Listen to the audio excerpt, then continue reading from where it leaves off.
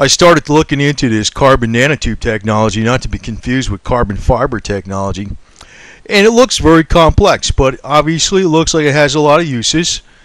But you know, there's one thing I don't like about something is when a scientist come out with something, they make it so complex. In other words, the cost is going to be way up there, and some petrochemical company is going to have exclusive rights to it. Actually, I think there's simpler solutions that have been developed many years ago. I'll cut right to the chase hemp. Again, industrial hemp.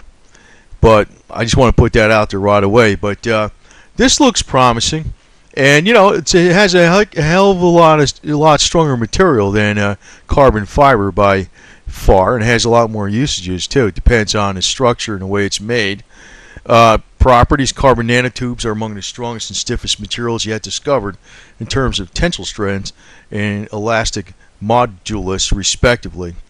So it could stretch a little bit and it has a lot of tensile strength. That's important characteristics. But, uh, you know, there's something I don't like about this in a way. It's when something becomes patented, somebody has exclusive rights to make it. You know, they'll sell it to the military or some garbage, and then that technology will start getting out to the manufacturing world. But, you know, I think Henry Ford had better technology back in the 30s and we can grow it right here in the United States. Um, you know, uh, I have a suspicion. I think uh, Henry Ford was maligned um, for other reasons, and because he was getting on things that were putting uh, would take a bite out of other people that had a monopoly on something. That's what I think. Now, this is another interesting article about nanotubes. A little bit. Smoking grass, not talking about weed. I'm talking about, you know, they probably titled this article to catch some attention. This is from 2005, but still, you know, it's it's new tech because nobody ever heard of it. But smoking grass, not weed. I'm talking about it's actually grass from the gra- ground, like grows on people's lawns, leads to nanotubes. Scientists in China have developed a new way to make multi-walled carbon nanotubes by heating grass in the presence of oxygen. The nanotubes, which were about 1 micron long and 30 to 50 nanometers in diameter, could prove useful for catalytic applications. Now, I want to remind people of the little fact that China grows 79% of the hemp in the world. Our very stupid, I'll call them that, elite, quote unquote, whatever you want to call them, people. You know, the people Lindsey Williams calls the elite in the oil industry. You know, the way I look at it, and this just goes to show you how stupid people are, even when they're really up there. They're not really stupid because they're trying to protect their racket. China has got them by the cojones in a way because if they're producing 79% of the hemp in the world, why don't they just make that 99% of the hemp in you know in the world and just go to town with this stuff? And I think they will. I think there's probably other forces out there that are probably going to stop them some way or another. But you know, you talk about energy independence, they could be that way too. I just think that the Chinese communists are actually in cahoots with uh, the rest of the elite in the world. That's probably why it's not going to go full tilt all the way that way. But China if the people actually had the power all the way in that country, they could grow hemp far more than they are now, and they could be energy independent, and they could make materials 10 times stronger than steel without going through the complexity of even these multi-walled uh, carbon nanotubes. Now, an interesting thing is about um, Henry Ford. Now, I know Henry. I know about what Henry Ford. They said he was anti-Semitic and I know he wrote he wrote that stuff in the Dearborn Press, whatever the heck it was, about Jews and stuff. And you know, actually, even when there's stories that are anti-Jewish, let me put it this way: there's always a little bit of truth in something. It's not like the whole story's bad. He kind he went overboard with the stuff. Yeah, he did. But you know, I think where he really got in trouble with this stuff was he was stepping on the toes of people that had rackets going, like in the oil industry, in the petrochemical industry, in the pharmaceutical industry.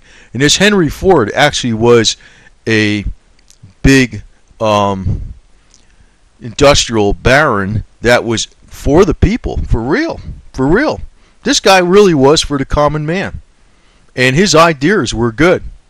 So sometimes I think he, he's overplayed with this because I don't think this guy was a Nazi sympathizer. That's, that's really ridiculous. I know he had articles in that Dearborn Press critical critical of Jews, but in certain instances, it was true of certain people. So the guy, but he kind of he painted too broad of a brush. That was his. That was that was something he did wrong. But I don't think he was trying to like you know, but I think they kind of pumped that up a little bit more because they had to find any reason to smear this guy to stop him because he actually is on a product that's good for all the people. Just like um, they smeared Mexicans by saying they grew marijuana to and they harassed white people or something like that to um, so you had to make marijuana illegal and you had to make industrial hemp illegal. And you know, it's like you got to find a reason to get the middle class to go along with getting after this guy. So the middle class has this one thing in her head that Henry Ford was an anti-Semite. I don't know. I don't think so. But I don't. I didn't read everything the guy said. But you know, if you get into that, sometimes you know who the heck knows. I mean, I don't know. If, you know, he's. I don't think he's anywhere near as bad as they said. I think he was a guy out for the people. Ford rec- Henry Ford recognized the utility of the hemp plant. He constructed a car of resin stiffened hemp fiber and even ran the car on ethanol made from hemp. Ford knew that hemp could be produced could produce vast economic resources if widely cultivated. And he actually um, you know, he shows him here, you know, he's hitting a uh, car, you know, here, doing a demonstration, hitting a trunk lid of a car with a big hammer, right? And it was made from 70% hemp cellulose. Very, very strong, 10 times stronger than steel. And it was just bouncing off the trunk lid of this car without putting a dent in it and without cracking it. So, um, way ahead of its time, and this was 1941. So, to me, the product for carbon nanotubes has already been out. It's actually been hemp. It actually has been. And um, you know, also to talk about gasoline, you know, I swear, to I think it was the uh, crude oil industry that really did anything they could to stop Henry Ford, and probably that is why, you know, I don't know how true that stuff is, but I think they really pushed the angle about the Ford anti-Semitism because his ideas were going to take away from the oil industry, and oil industry and the uh, petrochemical industry and the pharmaceutical industry has a big racket going. That's really what it is. It's just a racket. That's all it is. Uh, gasoline, which is produced from crude oil, has many disadvantages as an automotive resource. This new fuel, gasoline, had a lower octane rating than the ethanol, which is produced from like corn or hemp or anything.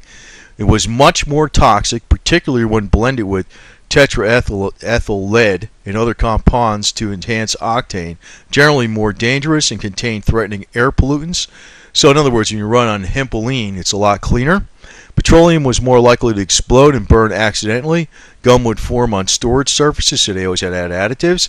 Carbon deposits would form in combustion chambers of engines. Pipelines were needed for distribution from area found to area needed.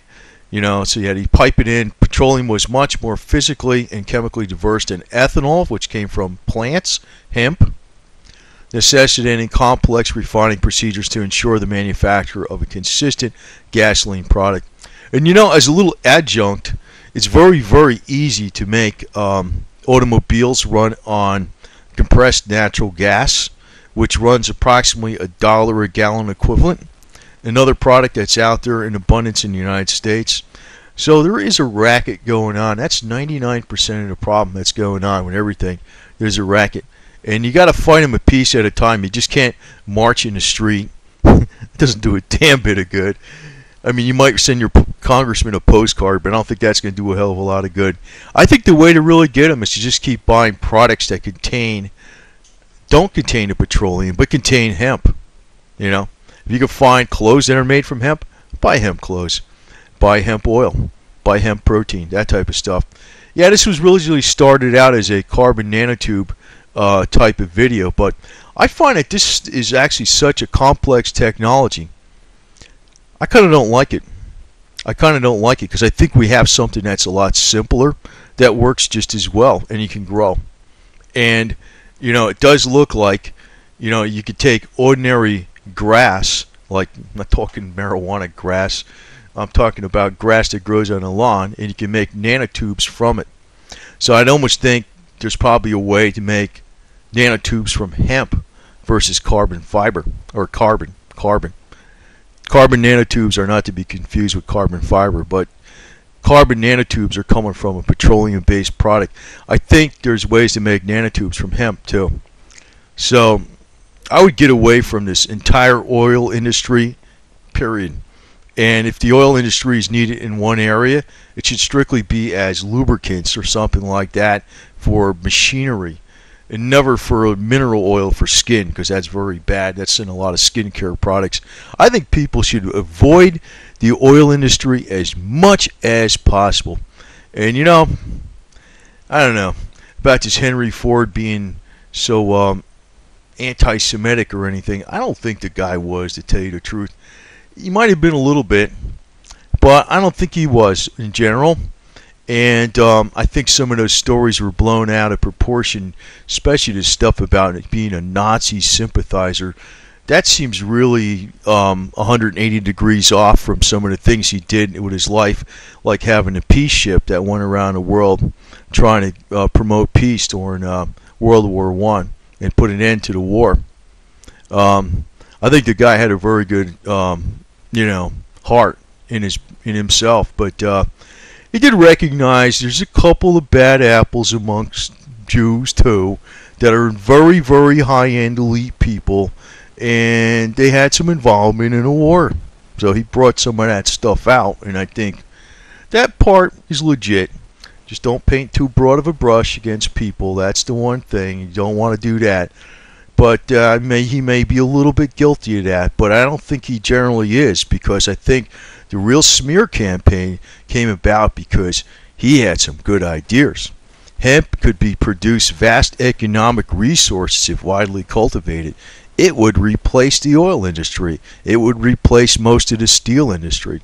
It would replace automobile gasoline. There would be a heck of a lot pollution, less pollution on the earth too because the cars would run cleaner. And actually, the automobile with a cleaner fuel, just as even natural gas, which is not from uh, plant material, but even natural gas will run a heck of a lot cleaner than gasoline, and it's plentiful all over this country.